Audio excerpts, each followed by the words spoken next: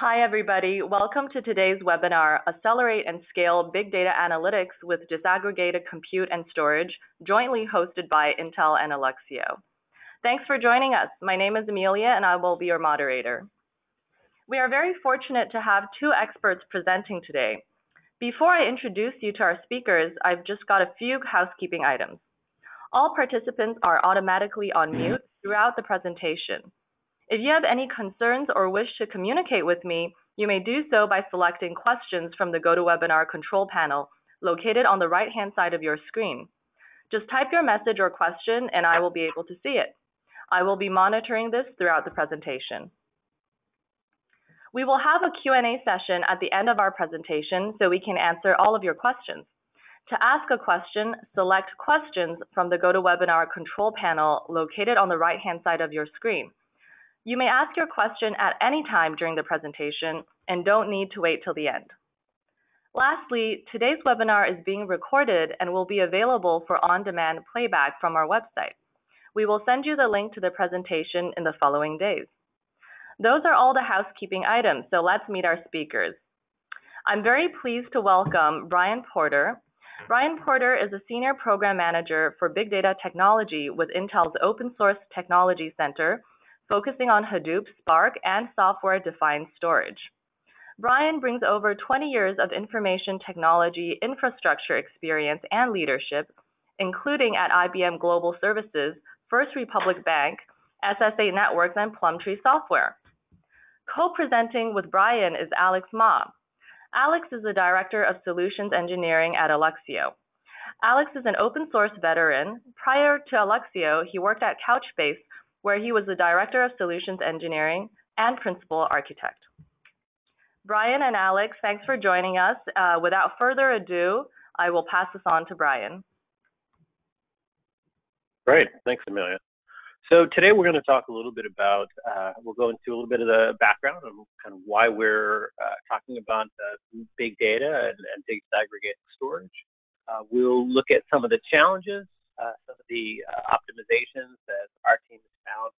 Uh, we'll talk about how uh, Alluxio uh, works into that solution uh, and where we see it as a, a real fit uh, for the big data environment, and then we'll sum everything up. So the, the challenges of Hadoop storage and for anyone who's, who's working in the Hadoop Spark space, you start to see it is you grow your environment, the compute and storage aren't growing at the same rate. Uh, we are seeing exponential growth overall in storage infrastructure and, and trying to bound your storage uh, with capacity of your uh, of your CPU infrastructure um, just isn't working. Uh, we see kind of growing uh, growing data capacity, more siloing of data, uh, and cost growing very, very quickly uh, in, in the big data space. Uh, what people are looking for is, is, performance and efficiency is one of the you know key hallmarks of a, a truly uh, well-managed, well-maintained environment.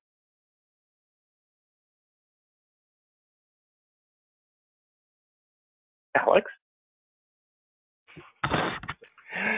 So, along with the um, challenges of scaling the Hadoop infrastructure, uh, there's some additional trends that we notice that are driving the need for new architectures as well as new solutions. And so the things that we have noticed are things like the separation of compute and storage, um, both hybrid and multi-cloud environments, and hybrid cloud being where you know some component of uh, the infrastructure remains on-prem in a physical data center, and some component lays out in uh, a cloud of some kind, uh, or environments where users are leveraging multiple clouds to support their infrastructures. Uh, we notice the rise of the object store, uh, both uh, cloud supported as well as on-prem. And the last trend that we notice is the need for data across the enterprise and the need for that data to be self-service uh, we see many users where data goes through this very complicated migration of first location and identification, then migration, then access uh, that can sometimes take weeks or months.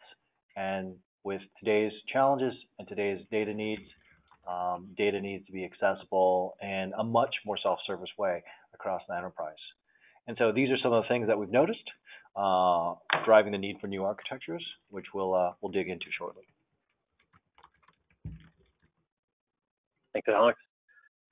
So, so what are we seeing as far as uh, types of infrastructure? So, you know, and, and we've seen this uh, in the computer infrastructure field for, for a long time. There's, you know, we're going to build it really big and you get very large clusters that try to encompass everything.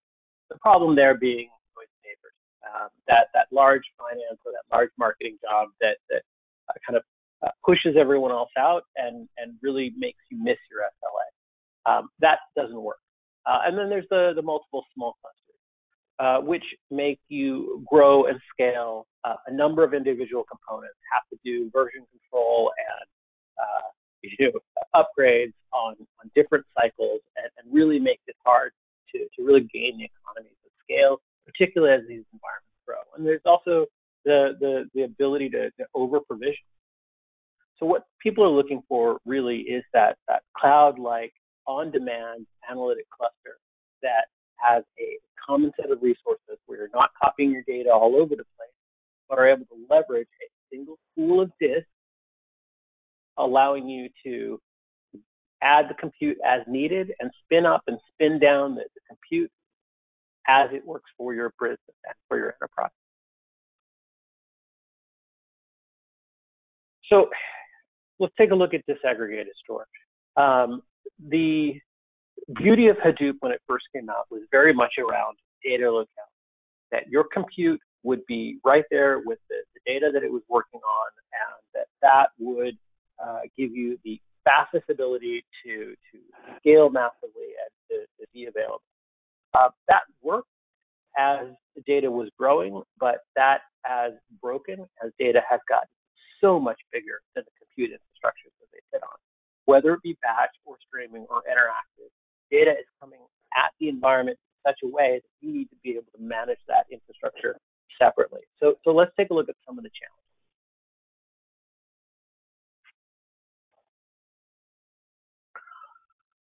So typically what we're seeing uh, in our labs is that when people go to, to build this disaggregated storage layer, whether it be leveraging technologies like Ceph or others, uh, particularly using things like uh, S3 and S3A as the way of uh, basically communicating to the HDFS storage, um, the biggest problem we see is tuning. If you see the, the line on the bottom uh, left, uh, just how much improper default configuration costs you in, in overall uh, performance. Um, if you look at the top left in the success rate of the query, something like a TPC-DS, um, you're, you're seeing kind of failures across the board. These are all due to improper configuration uh, improper setup for the middleware, uh, and, and, and, leaving kind of uh, default configurations in your uh, Spark that you've been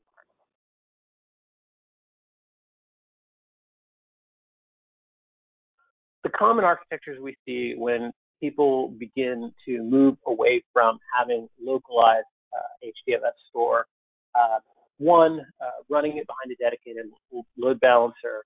the second, running it behind either uh, a dedicated DNS uh, or uh, code gateways. Um, uh, fourth, a, fully disaggregated architecture. Um, but, but, fifth, we're seeing a lot of now, and what is really kind of starting to uh, be the direction that a lot of folks are going, is uh, leveraging technologies like Alluxio to, to really cache and bring that, that data that is no longer local to the environment back to the environment and making it uh, easier to access from, from the compute layer. So looking at the, uh, the, the, tuning uh, challenges for, uh, for the Hadoop Spark stack, particularly in, in, disaggregation, one of the things we see around S3A uh, really is performance of the uh, teardown and, and setup of, of TCP. And when we if you're looking uh, at this chart, um, please take a look at the graph on the uh, upper left. Um, and where you see TeraSort just completely failing, um, if you look at S3A versus remote HDFS, remote HDFS is making calls and, and it's coming back. S3A with Ceph is communicating back and forth with the, the, the S3A gateway is communicating back and forth with Ceph and, and both spinning up and tearing down the network connection. Um, and so one of the things that we see, and it's been a big call out for us, is just how much tuning you need to do to the environment.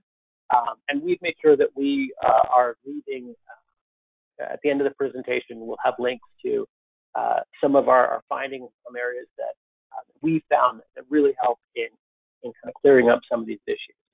Uh, but, but tuned correctly uh, and, and really leveraging the, the proper tuning of the environment, we've seen as much as an 11x uh, improvement of that. Uh, really being able to uh, leverage uh, the, the true power of, of, the infrastructure.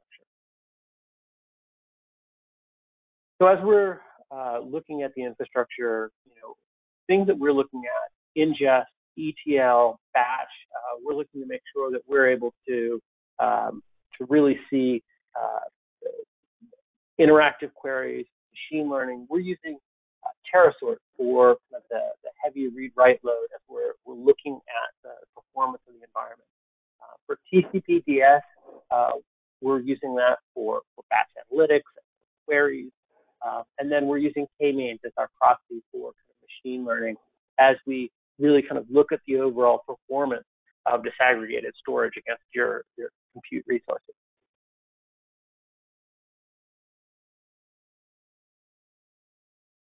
So what are the performance gaps we're seeing?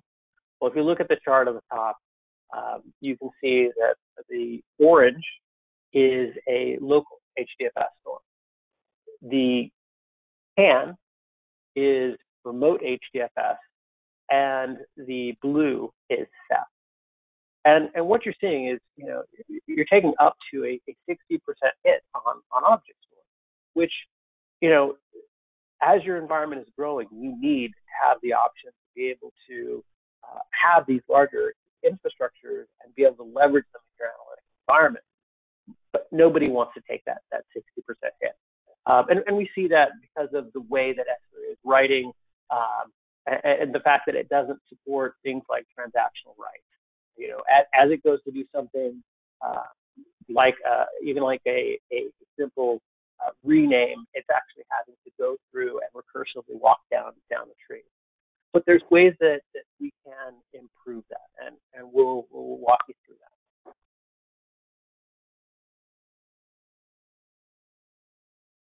So, so what do you do to, to kind of get yourself back to the performance that you lose by building this large data store? um, in-memory accelerator, specifically Alluxio as your in-memory accelerator.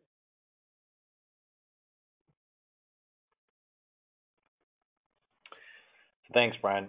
Um, with Alluxio, you can you can definitely use it as an in-memory accelerator. And what we see in this diagram is is kind of the topology that this plays in.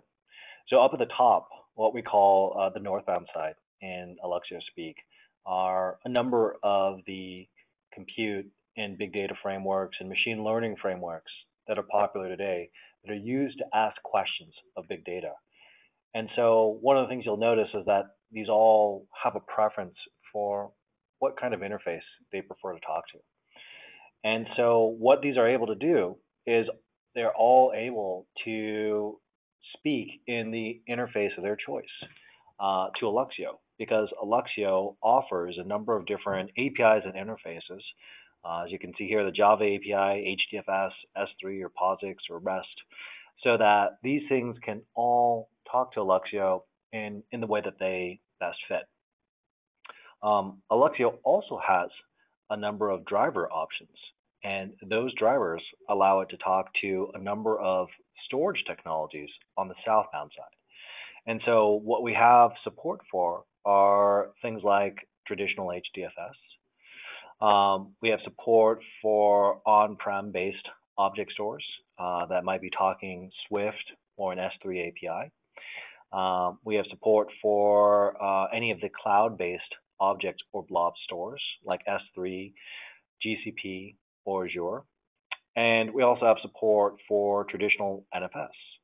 And so what Alluxio allows you to do uh, in this in-memory data acceleration layer is allow any of these technologies on the northbound side to be able to commute to communicate to any of the storage technologies on the southbound side. And we work together to essentially bring the data closer to the compute. And we'll walk through a little bit of what that looks like um, a couple slides from now. Uh, but this is a quick overview of just the kind of technologies that Alluxio interfaces with and um, the kind of things that it can touch. So one of the technologies that uh, Alluxio enables is uh, Intel's new uh, persistent memory. So persistent memory is a, a new class of, of, memory and storage technology. Um, Intel this year introduced uh, Optane uh, DC persistent memory uh, along with Optane solid state drive. Optane persistent memory acts as DRAMs uh, that sit on your, your box uh, and allow you a much higher density of storage uh, for caching in your environment, uh, up to six terabyte per system. Optane solid state drives um, are a, a new medium that allows for much faster hard disk speeds um, and really gives you just an incredible uh, amount of uh, uh, not only speed but also endurance for uh, for storage media. Uh, second, uh, RDMA, which is a remote direct access memory, remote direct memory access, uh, which basically allows for technologies to no longer uh, or servers to no longer have stranded capacity. Um, RDMA enabled servers will allow a, server at the, the top of rack that needs additional disks to pull storage from a another server in that rack uh, without involving the CPU, with zero uh, copy or, or, performance loss, um, and bypassing the, the kernel uh, of the box that it's pulling from completely. Uh, it is fast, it is efficient, uh, and it's another way that we're going to be able to expand these large data infrastructures without having to, compromise and, and, not to strand resources on, on boxes that, that don't need it, right? Um, and also not to, to pull uh, from the, the, CPU and overall performance uh, of boxes just because you need disk for other capacity. So uh, Optane persistent memory uh, works in three different modes. Uh, so there's a memory mode that works as if it was uh, traditional DRAM. Uh, there's App Direct, which acts uh, really leverages the, the power of it and really gives you the ability to work with some of the newer features that are in this new medium. Uh, again, um, you can not only do, do three terabytes, but now you're able to do six terabytes on a, an individual system. Uh, and then there's storage over App Direct in, in yellow. Uh, and storage over AppDirect is what we've been working with the uh, Alluxio team on uh, to basically access DRAM as if it were disk uh, local to, to the system, um, thus being able to leverage for, for caching uh, and able to see some real performance advantages in your environment. So, so this is what it looks like. You know, as, as you get uh, Alluxio in your environment, um, it sits as a layer, um, you know, leveraging these newer technologies, persistent memory, uh, RDMA, uh, to allow for caching of, hot data, right? And, and, shortening that I/O stack to make your files and to make your uh, storage environment uh, faster and, more efficient. Uh, it's unifying the, the underlying file system and really kind of optimizing uh, your environment's way to get to that dip. This is uh, what our test uh, environment looks like. Um, these are kind of all of the, the components with your compute uh, with Alluxio and your storage environment uh, separated, um, running uh, a data.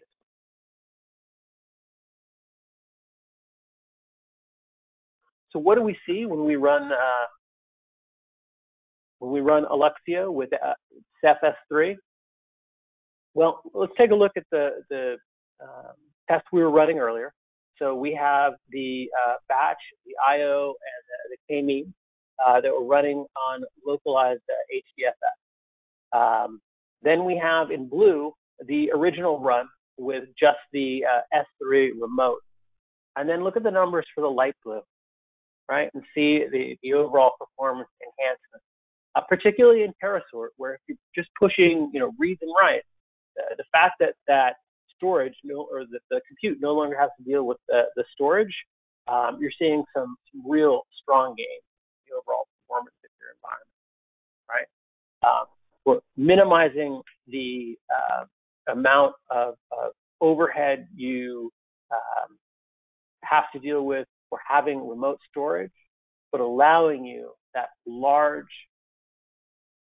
easier to maintain, easier to keep consistent, not having to copy your data all over the place, much larger data store, right? That data lake in a much more consistent manner um, without having to take the performance and being able to get your business critical, infrastructure critical uh, work done.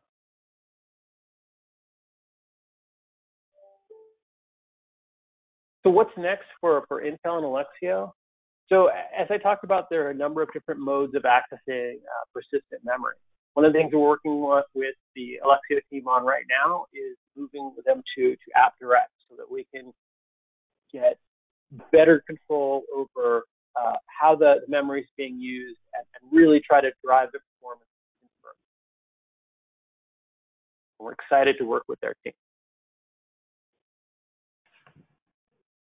So here we're going to walk through some more of the use cases that Alluxio enables. Uh, I think we've seen uh, from Brien's test results how Alluxio can help when you disaggregate compute and storage, when you're leveraging something like HDFS versus something like uh, S3 over Ceph. Um, but here we'll take a look at some other common ways that Alluxio is used to help with big data infrastructures. And so I'd say the first one is is probably the simplest one. And here we're just we're just kind of shifting the topology around. Um, one of the ways that um, it's used very commonly is to accelerate big data frameworks on the public cloud. Now, whether you're using uh, AWS, um, GCP, or Azure, uh, in either of these cases, um, all three cloud providers provide very scalable, very cost-efficient cloud-based object stores or blob stores. And in either case, um, using Alluxio uh, as a in-memory data accelerator can help to accelerate the performance of these object stores and provide more consistent performance, especially for, for hot data workloads. And so in this example, you know, we're looking at what Spark and Alluxio looks like when it's talking to S3. Uh, that's a very common uh, pattern on uh, AWS EMR. Uh, but we also work with things like Presto or you know any of the any of the other big data frameworks that you might see in the public cloud. Um, another topology shift that we help to accelerate is when customers are looking to burst a part of their workloads into a hybrid cloud environment. And a hybrid cloud is where you might, in this example, have HDFS running on-prem, but you want to take advantage of cloud-based compute uh, because it makes sense. And this, this makes a lot of sense in Spark ML workloads, in TensorFlow-based workloads, workloads where you're trying to leverage a GPU and uh, these things are very expensive. They have a very long lead time, um, and you can simply get capacity from one of the, the cloud uh, providers um, while leveraging the, the data sets and the training data that you have in house. And so, in these situations, Alluxio can help out by, again, bringing the data closer to the compute uh, so that you're able to um, more efficiently run these training models, more efficiently run these um, these big data frameworks. Uh, and this again works regardless of how the topology is laid out. It could be your data is living on-prem with your compute bursting out to the cloud, or it could be that you want to take advantage of S3 or GCP uh, and take advantage of it from a storage perspective uh, and have your compute in-house. Uh, the last one that we talked about where Alluxio can add a lot of value is, is what we've been um, discussing over the course of the last 20 minutes or so, how Alluxio can help with on-prem based object stores, things like Ceph or CleverSafe. Um, Alluxio can help dramatically speed up access to data on these object stores uh, and give them the ability to help with workloads that they otherwise might not have been a great fit for.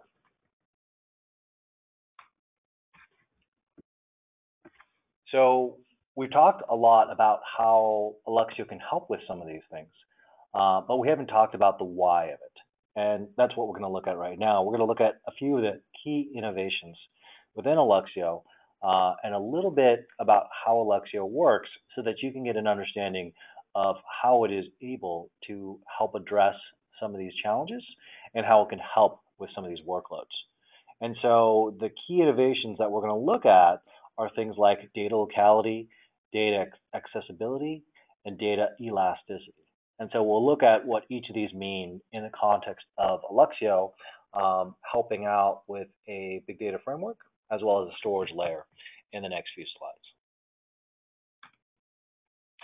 And so data locality with intelligent multi-tiering, uh, what that really means is that the Alluxio technology is able to leverage some of the resources on these compute nodes.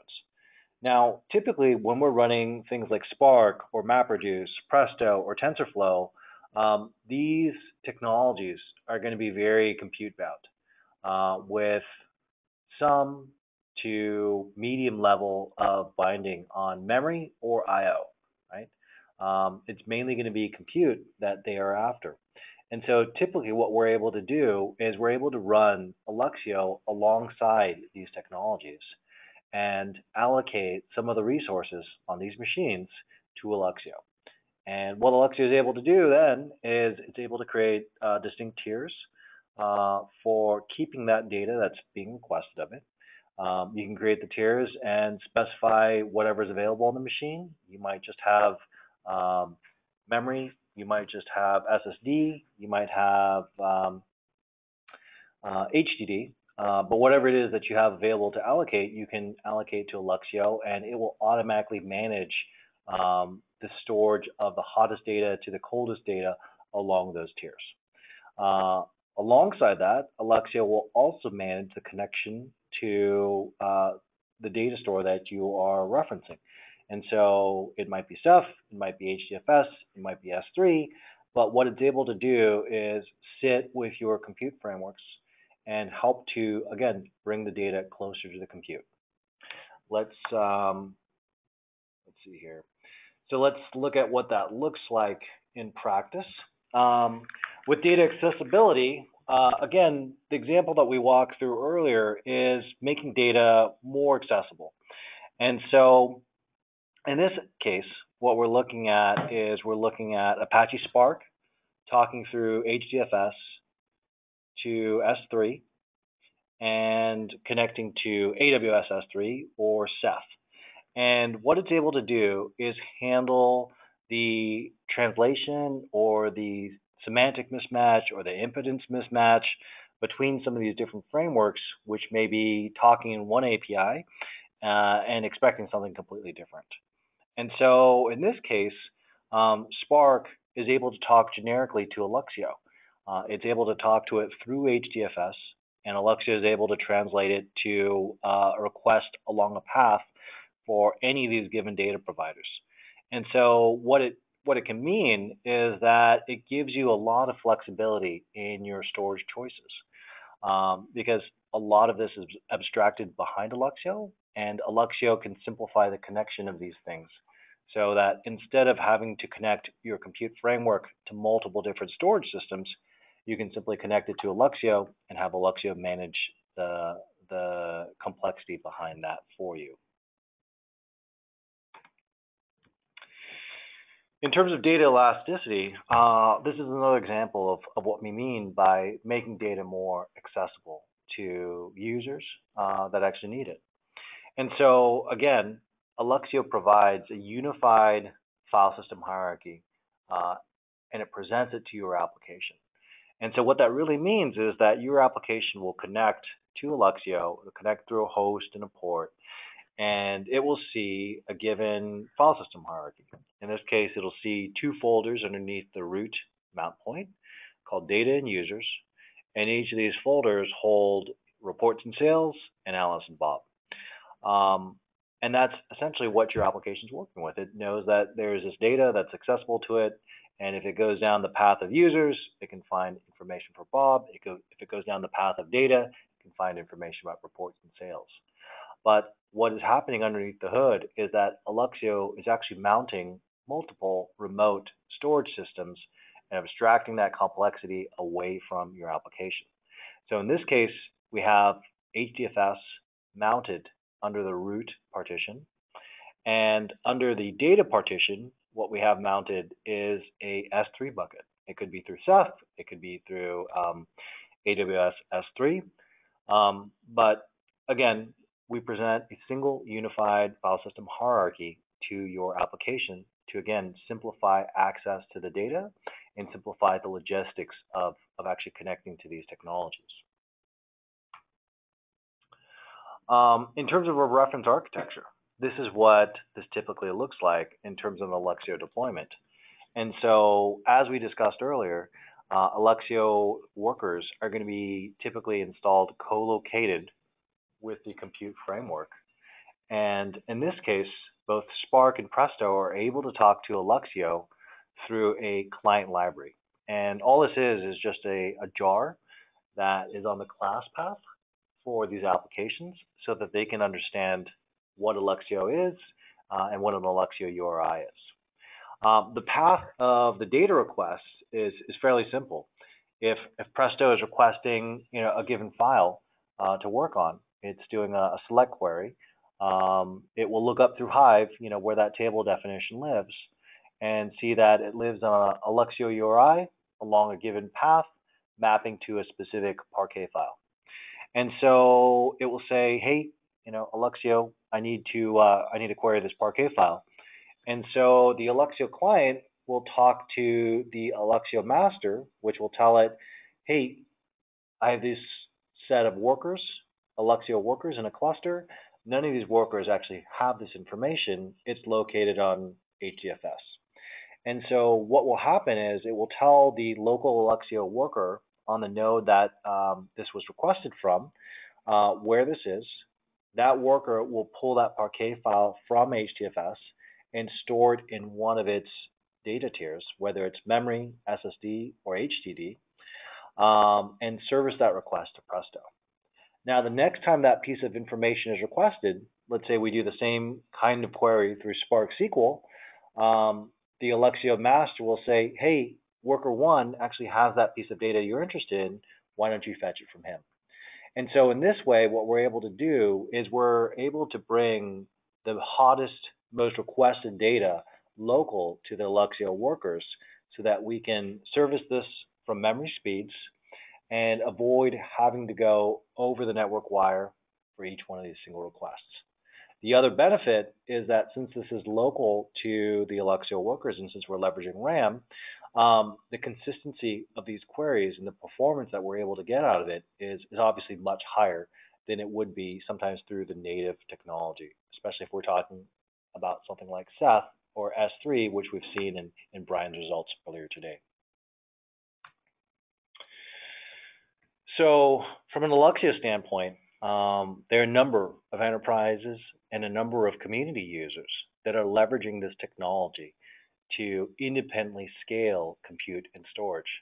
So, some of the names that you see here uh, have large scale production implementations that are leveraging things like Spark, Presto, GCS, uh, S3, uh, as well as TensorFlow to solve problems problems at production scale, uh, all with Alluxio helping to accelerate in-memory data access. From a community standpoint, uh, Alluxio has a lot of open source momentum behind it. We're an Apache 2.0 licensed project with hundreds of thousands of downloads, uh, a thousand plus contributors, and 4,000 plus Git stars. As a call to action, you know, please stay tuned in for further updates. Uh, we'll be sending out the slide deck uh, as well as the recording to this presentation later today. Uh, as well, there's a there's a blog that you can access uh, that's linked here. If you have any questions, uh, we're going to stay open for chat, but you can also join the Alluxio community uh, through any of the mechanisms that you see listed below. We have a community Slack channel uh, as well as Twitter.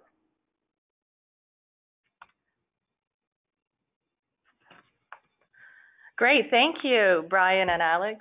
That was a lot of great information, and I can see that we already have a few questions. As a reminder, if you wish to ask a question, please select questions from the GoToWebinar control panel located on the right-hand side of your screen. Our first question, and this one's for Alex, is what is the best way to scale performance of this solution? Does it scale horizontally? Yeah, so that's that's a great question. Um, so again, with the, the typical way Alluxio is deployed, um, where it is co-located with the compute node, um, it's it's a it, it's a very horizontally scaling uh, type of solution. Uh, I think one of our largest deployments is running something like 1,300 Alluxio worker nodes in a single cluster, co-located with Apache Spark. And so what it's able to do is scale horizontally along with the compute framework, whether it be Spark, MapReduce, Presto, TensorFlow, uh, and again, enhance the experience for that big data application. Um, this is with the older 1.x product. Uh, with the newer 2.0 product that just released, uh, we've actually taken steps to ensure that it can scale to even higher levels both from a number of workers in a given cluster perspective, as well as the number of files that is able to handle. And we have actually some really interesting blogs that walk through the technology improvements that we've made in the 2.0 product and some of the architecture changes that allow for us to handle that kind of scaling. Uh, but yes, it's it's a horizontally scaling solution, and uh, we have it running in large scale in production deployments. Great, thank you, Alex. Uh, next question is for Brien. What are the performance cost benefits of persistent memory over NVMe?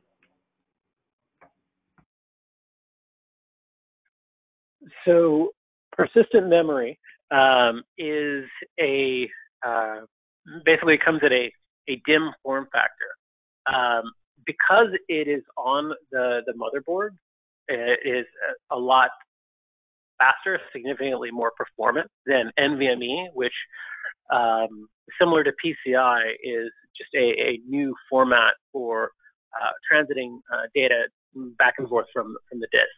Uh, we're very excited about NVMe, and as we talked about RDMA, RDMA runs over the uh, NVMe infrastructure, right, um, and allows direct access to disk via NVMe. Uh, NVMe. Um, Optane runs on on NVMe, the the SSDs. Um, but yeah, you're going to see a much faster um, performance. Uh, like I said, it's uh, slightly slower than, an actual DRAM, um, but uh, very, very on par and, much higher density um, with the, the newer persistent memory um, storage technology. Great, thank you, Brien. Uh, next question for Alex here. Uh, without naming a current Alluxio customer, uh, could you please share a real life use case example and Alluxio's impact on the business top line, bottom line, and risk mitigation in measurable metrics? Sure thing. Uh, I'll do I'll do my best. So one use case that comes to mind is, is, actually kind of an interesting one, and one that I alluded to kind of earlier in the talk today. Um, but what it comes down to is machine learning uh, with training data sets and being able to leverage cloud technologies and the ability to burst into cloud. And so this customer um, is one that leverages machine learning at, at large scale. And so they have uh, a Hadoop cluster with large amount of data in HDFS. And what they were looking to do is to be able to add on and augment their existing big data workloads by bursting out to the cloud to get additional compute capacity to handle their machine learning training and model development. And so if you're familiar with machine learning, um, it's it's a very uh, data movement intense exercise. Uh, typically, the way these things work is that they're able to scan through training data sets uh, and learn from them. And what ends up happening is you will run the model with multiple different variables changed, um, and you know you'll finish that run. You'll pick the best parameters out of that iteration, and you'll continue iterating. And we have customers that will iterate, you know, hundreds of times over the exact same data set in order to get this model fully trained and tuned. And the way these machine learning models work is that the more data they have, the better uh, it can be. Right? The more iterations they can go through, the more accurate the model can be. And so it benefits them to have very, very large data sets and to have very, very large iterations. Um, and the challenges with this is that when you're bursting out to the cloud and your data is disaggregated from your compute, um, you're talking about moving a very large amount of data around. And in this case, this customer um, had this exact same pattern.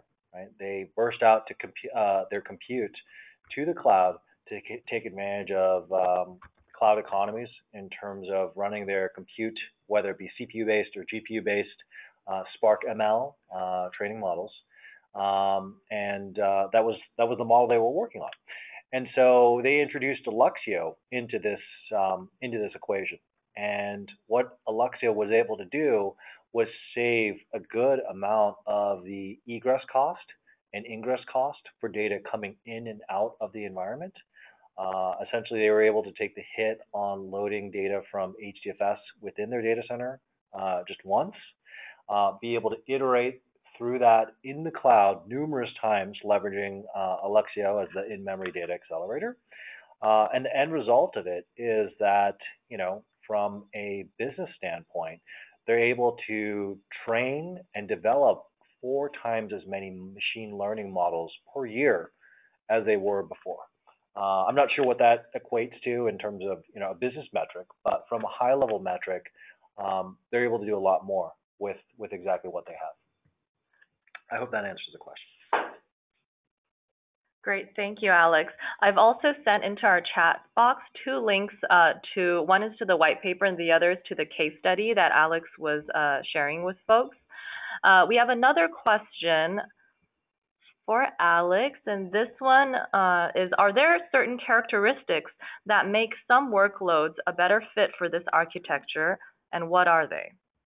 Sure. Um, so I think the the characteristics that best fit Alluxio are, are the ones that you know it was kind of designed for. And you know, there's obviously many different types of workloads in the data and big data spaces. Uh, but the ones that Alluxio is most geared towards, I would say right now in the current incarnation of the product, is ones where you know the data is essentially written once and then read many, many, many times.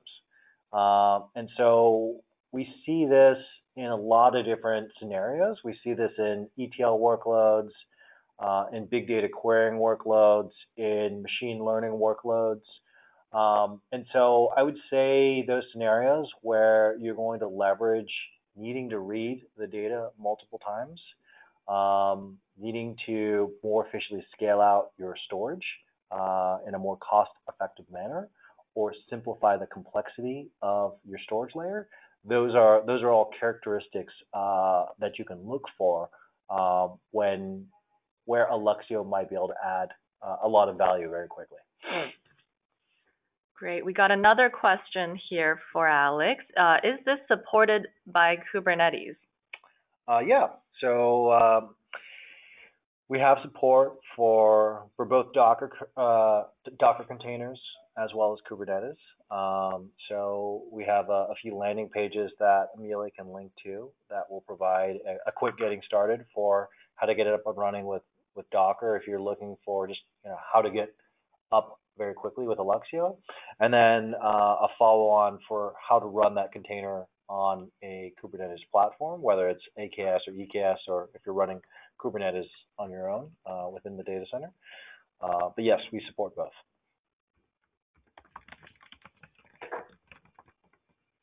Great. I just shared with folks the link to our documentation for deploying with Kubernetes.